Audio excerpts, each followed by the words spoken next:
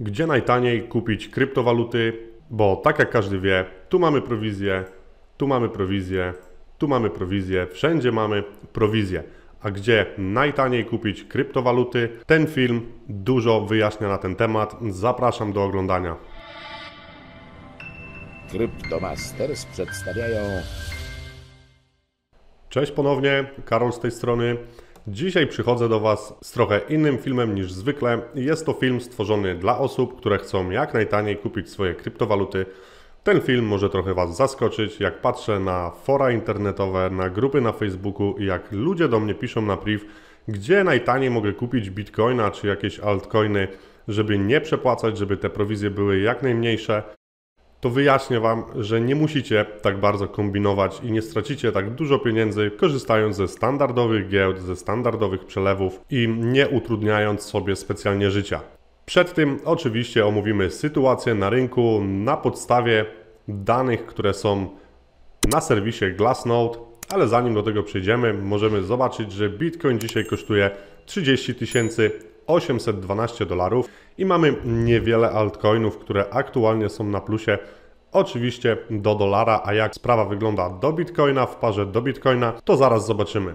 Z reguły jest tak, że im bardziej Bitcoin spada, tym jego dominacja się zwiększa. Tutaj też możemy zobaczyć, ja przed chwilą widziałem, że było 64,7%, teraz jest już ponad 65% dominacji Bitcoina, ale jak wejdziemy sobie na CoinMarketCap i wejdziemy w dominację, o tu dalej pokazuje 64,5%. Jak możemy zaobserwować na całym wykresie, tu na końcu mamy ładny spadek tej dominacji, co mnie bardzo cieszy, ponieważ ja bardziej wierzę w altcoiny niż w bitcoina. Może nie tyle wierzę, co moim zdaniem więcej będzie można zarobić na altcoinach.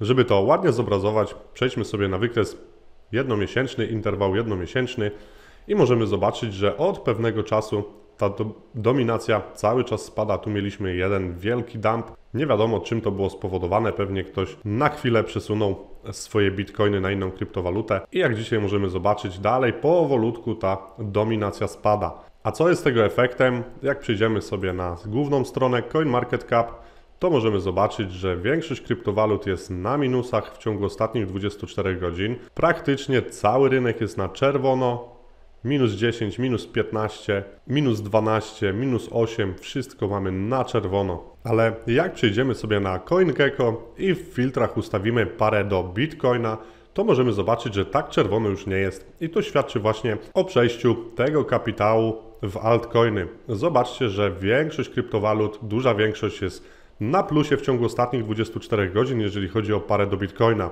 Mamy Polkę 9%, Litecoina ponad 6%, Chainlink 5%, Bitcoin Cash akurat jest na minusie, ale wcale mnie to nie dziwi.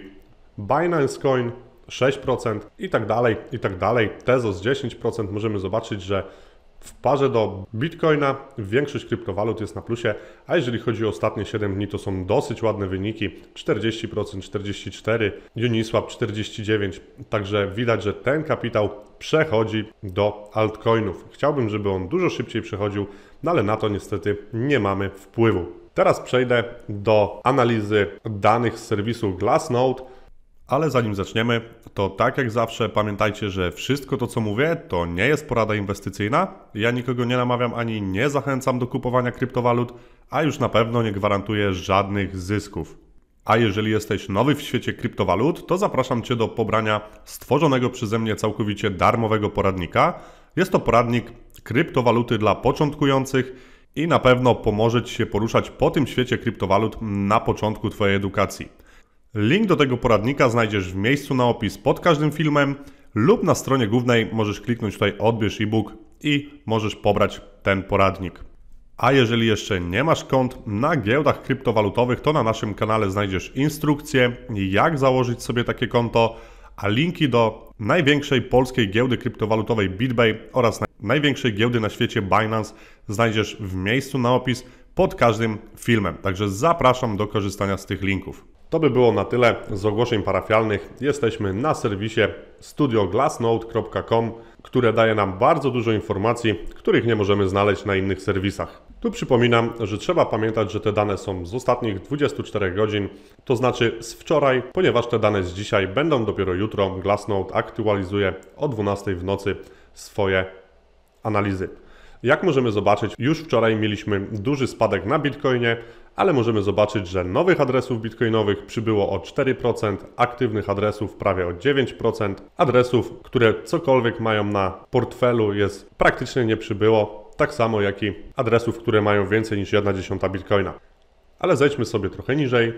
I tutaj te procenty już wyglądają trochę inaczej. Inflow na giełdy, czyli wpłacone bitcoiny na giełdy wzrosło o aż 63%. Stąd ten spadek oczywiście, ponieważ te bitcoiny ktoś musiał sprzedać, żeby cena tak drastycznie spadła, ale jak możemy zobaczyć, na giełdy zostało zdeponowane 60 tysięcy, prawie 60,5 tysiąca bitcoinów, a wypłaconych z tych, z tych giełd prawie 71 tysięcy bitcoinów, co oznacza, że więcej zostało wypłaconych niż wpłaconych.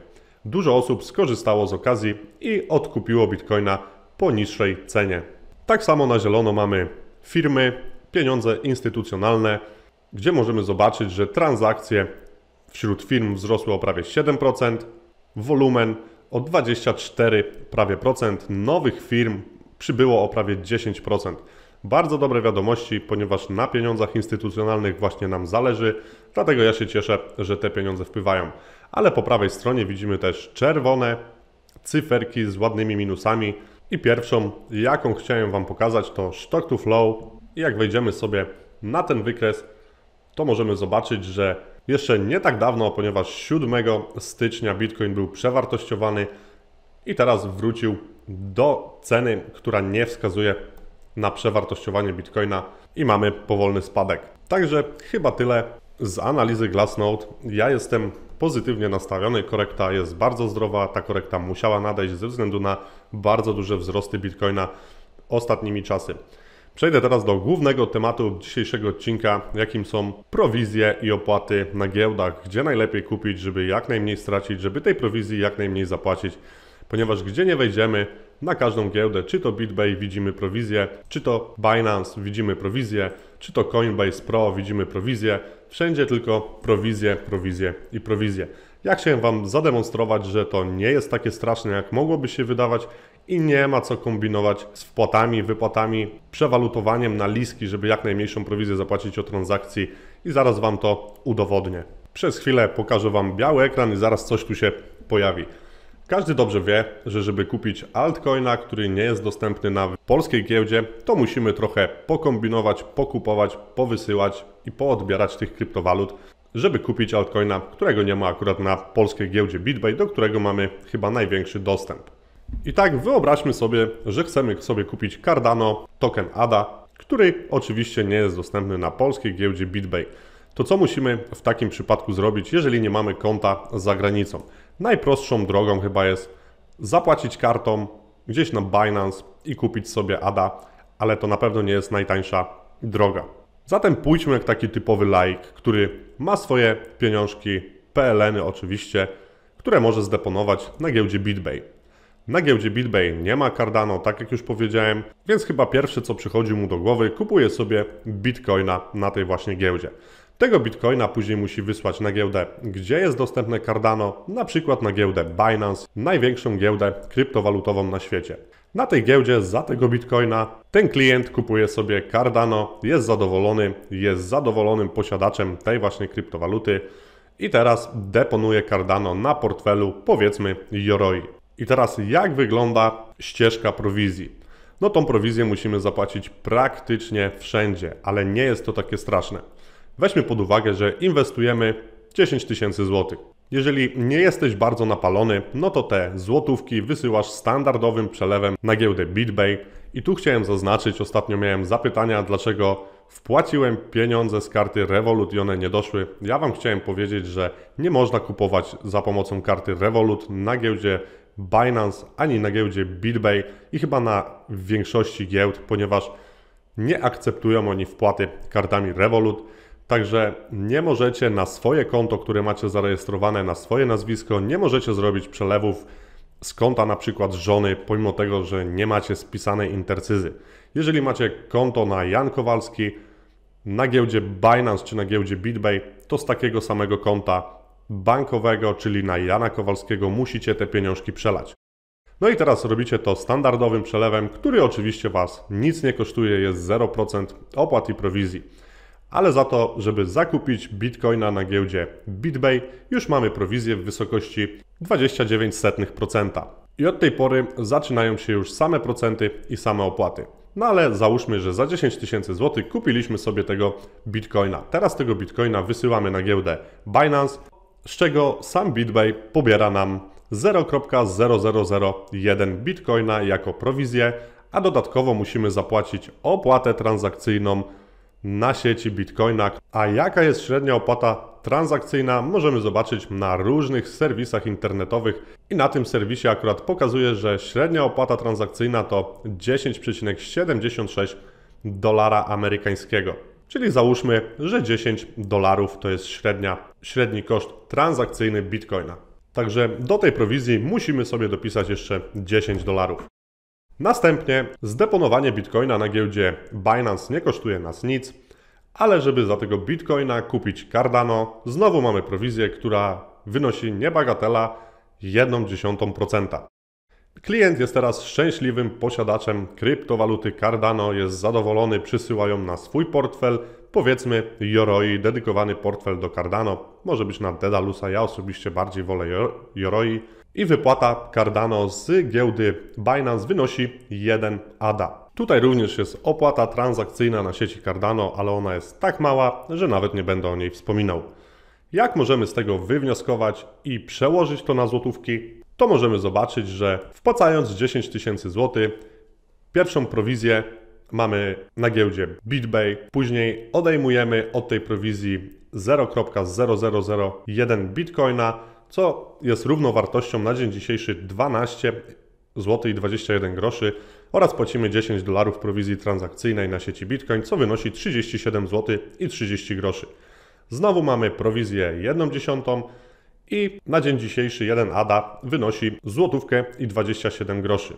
Po szybkim przeliczeniu wychodzi nam, że finalnie będziemy mieli ADA, nie licząc oczywiście zmiany wartości ani Bitcoina, ani ADY, to finalnie na portfelu Yoroi będziemy mieli ADY o wartości 9910 zł i 30 groszy. Odejmijmy to sobie od 10 tysięcy, co daje nam równowartość 89 zł i 70 groszy. Taką prowizję zapłacimy od 10 tysięcy złotych poprzez wszystkie te giełdy i wszystkie zakupy.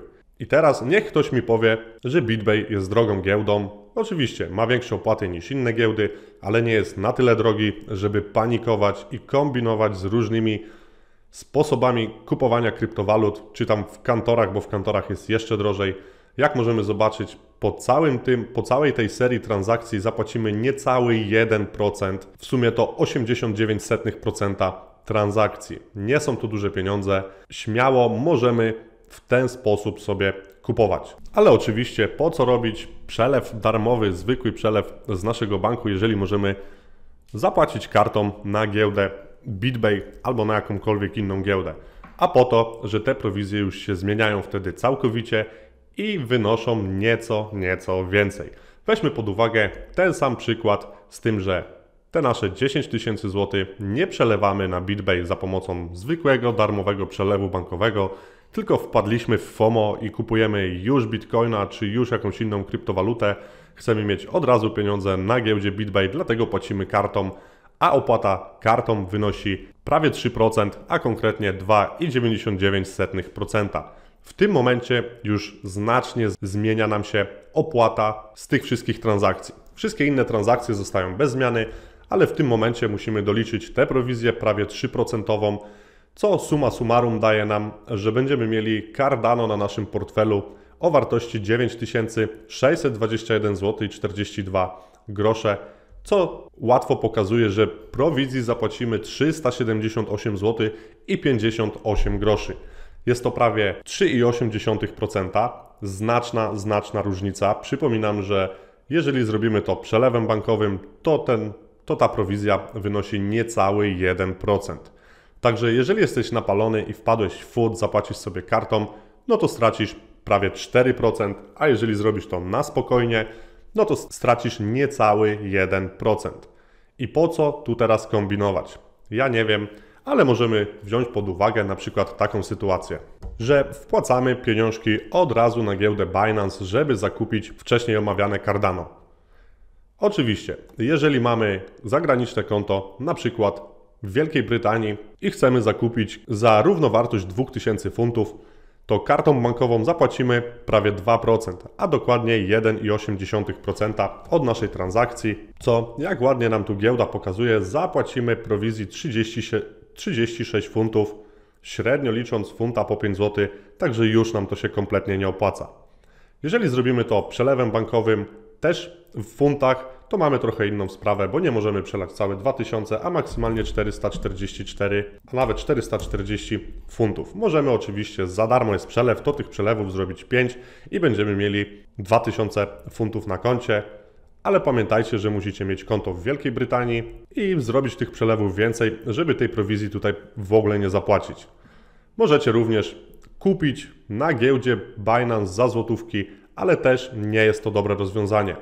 Tu możemy jeszcze zapłacić sobie naszą kartą debetową na giełdzie Binance, ale to też nie jest opłacalne. Czasami Binance ma taką promocję, że zapłata kupno kryptowaluty kartą kredytową, kartą debetową jest za 0%, to wtedy to się opłaca. Ale jeżeli weźmiemy pod uwagę, że te prowizje są naliczane, to powiedzmy przy 2000 funtów równowartości 10 tysięcy złotych otrzymamy 0,0879 bitcoina. A zobaczmy teraz, jak kupimy za 10 tysięcy złotych, to dostaniemy 0,847. Sprawdźmy, jaka to jest różnica. Różnica jest 0,00035 bitcoina, co jest równowarte 40, ponad 40 zł. Niby nie ma takiej tragedii, ale doliczmy do tego jeszcze opłatę za bankową, za zapłatę kartą transakcyjną i już nam to się nie będzie opłacać. Dlatego, tak jak mówię, nie ma co kombinować przy 10 tysięcy, przy inwestycji 10 tysięcy złotych zapłacimy niecałe 90 zł prowizji, co daje niecały 1% ze wszystkich transakcji. Gdzie przy tym zakładanie kont walutowych, przelewanie z innych, innych walut na giełdy, żeby zakupić jakiegoś altcoina i zaoszczędzić 20 może złotych, albo nie zaoszczędzić w ogóle, ponieważ przewalutowania też są niekorzystne na wszystkich giełdach. Także ja nie polecam kombinowania tutaj, tylko najlepiej kupić wysłać pieniądze zwykłym przelewem na BitBay, później Bitcoina wysła, wysłać na Binance, zakupić altcoina i wysłać na portfel. Nie będę tutaj pokazywał, ile to będzie kosztowało, jak kupimy ETH, ponieważ ETH jest teraz droższe w przesyle niż Bitcoin. W tym odcinku to będzie wszystko. Mam nadzieję, że, że rozwiałem trochę Wasze wątpliwości, jeżeli chodzi o opłaty transakcyjne na giełdach. Jeżeli podobał Ci się ten film, to zostaw łapkę w górę. Jeżeli jeszcze nie subskrybujesz naszego kanału, zapraszam Cię do subskrypcji oraz kliknij ten dzwoneczek z prawej strony, abyś otrzymywał powiadomienia o najnowszych filmach. Dzięki bardzo za wysłuchanie, trzymajcie się, cześć.